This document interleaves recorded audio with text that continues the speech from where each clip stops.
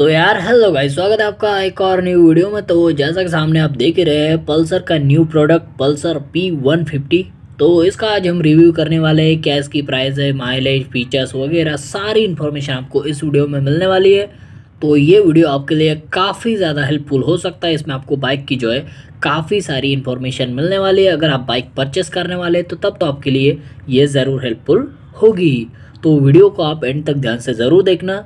तो ये बाइक जहाँ से हमें प्रोवाइड हुई है उस शोरूम की सारी कॉन्टैक्ट डिटेल्स एड्रेस वगैरह सब कुछ आपको डिस्क्रिप्शन में मिल जाएगा। आप चेकआउट कर सकते हैं और शोरूम पर जाकर जो है आप सारी इंक्वायरी कर सकते हैं बाइक का टेस्ट ड्राइव वगैरह ले सकते हैं। तो चलिए वीडियो को शुरू करते हैं बिना किसी टाइम पास के।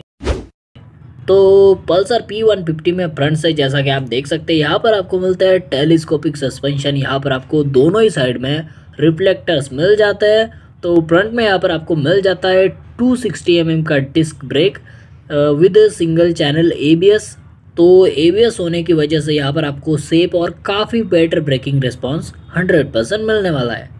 तो फ्रंट टायर साइज़ यहाँ पर आपको मिल जाती है 80 बाय 117 इंचेस एलॉय व्हील के साथ यहाँ पर आपको ट्यूबलेस टायर मिल जाते हैं। तो टायर साइज़ यहाँ पर जो है आपको one twenty five C C bikes वाली मिलती है, जो कि थोड़ा सा माइनस पॉइंट हो जाता है, लेकिन इसका जो है प्लस पॉइंट भी है, वो आपको जो है आगे पता चल नहीं वाला है।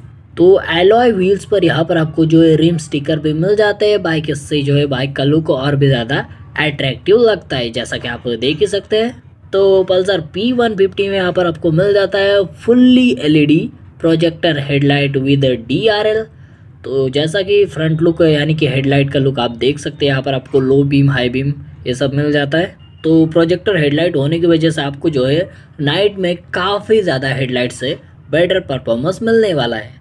तो इंडिकेटर से यहाँ पर आपको बल्ब में मिल जाते हैं, जैसा कि इनका लुक आप देख ही सकते हैं।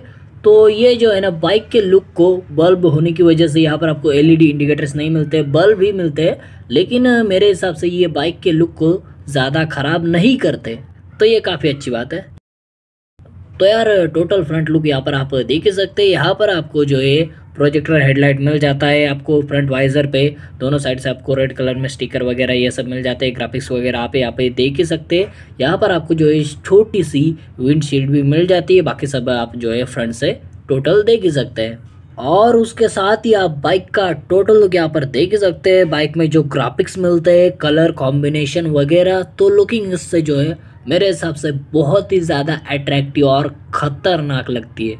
तो पल्सर पी वन फिफ्टी का यहाँ पर आपको जो है पेट्रोल टैंक काफ़ी मस्कुलर और गुड लुकिंग मिलता है, जिस पर आपको जो है, पल्सर का थ्री डी लोगो भी मिल जाता है टैंक काउल जिस पर आपको ग्राफिक्स मिलते हैं लुक इससे जो है और भी ज़्यादा अट्रैक्टिव लगता है। कलर कॉम्बिनेशन वगैरह यहाँ पर जो है, काफ़ी सही है।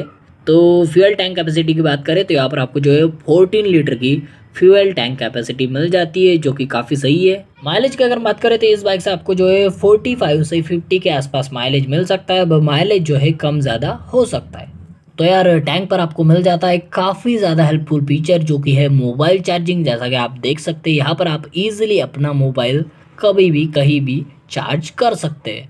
तो लेफ़्ट हैंड साइड में यहाँ पर स्विचेस जैसे कि आपको जो है passing switch low beam high beam indicator horn ये सारे स्विचेस मिल जाते हैं।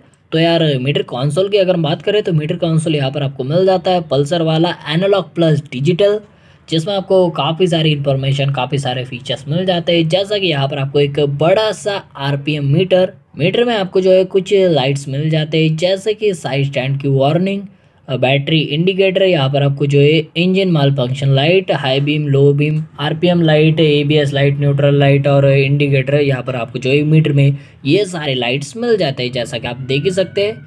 फीचर्स की अगर हम बात करें तो जैसा कि आप स्क्रीन पे देख ही सकते हैं, यहाँ पर आपको गियर पोजीशन इंडिकेटर स्पीड आप मीटर में देख सकते हैं टाइम आप मीटर में देख सकते हैं। यहाँ पर आपको डिजिटल फ्यूल मीटर मिल जाता है। Trip option trip A trip B ये जो है दो आपको ट्रिप ऑप्शन मिल जाते हैं। डिस्टेंस टू एम और भी ऐसे जो है आपको काफ़ी सारे हेल्पफुल फीचर्स इसके एनालॉग प्लस डिजिटल मीटर में मिल जाते हैं, जिसके ऊपर अगर आप कमेंट करते हैं तो एक डिटेल वीडियो आपको जल्द ही देखने को मिल जाएगा। तो चलिए एक बार जो है एग्जॉस्ट और इंजन का साउंड सुन लेते हैं जिससे आपको बाइक के इंजन के बारे में काफ़ी कुछ पता चल जाएगा।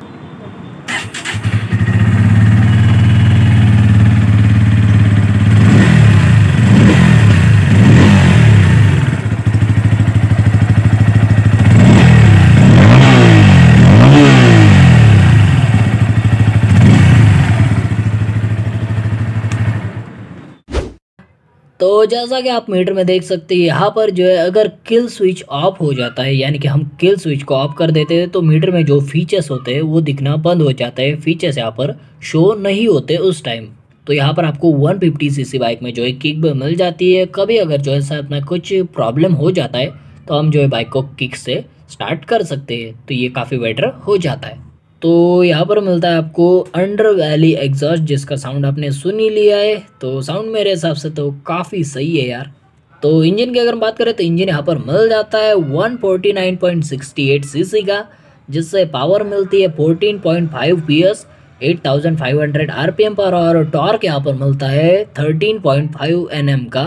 सिक्स थाउज़ेंड आर पर। तो नो डाउट आपको जो है काफ़ी बेटर यहाँ पर परफॉर्मेंस मिलने वाला है। तो जैसा कि आप देख ही सकते हैं, यहाँ पर बाइक में आपको जो है इंजन काउल भी मिल जाता है, जिस पर आपको जो है ग्राफिक्स वर्क देखने को मिल जाएगा। लुकिंग और भी जो है इससे ज़्यादा बेटर लगती है, क्योंकि इंजन काउल होने की वजह से बाइक जो है एक कंप्लीट वाला फील हमें देती है।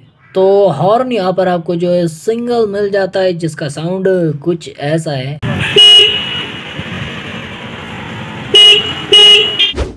तो रियर में आपको जो मिल जाता है mono suspension rear tyre size की अगर बात करें तो यहाँ पर जो है आपको 100 बाय 90 17 इंचेस एलॉय व्हील के साथ यहाँ पर आपको ट्यूबलेस टायर मिल जाता है। टायर साइज़ यहाँ पर आपको जो है 125 सीसी बाइक वाली मिल जाती है। जैसे कि पल्सर 125 में भी आपको यही टायर साइज़ देखने को मिल जाएगी।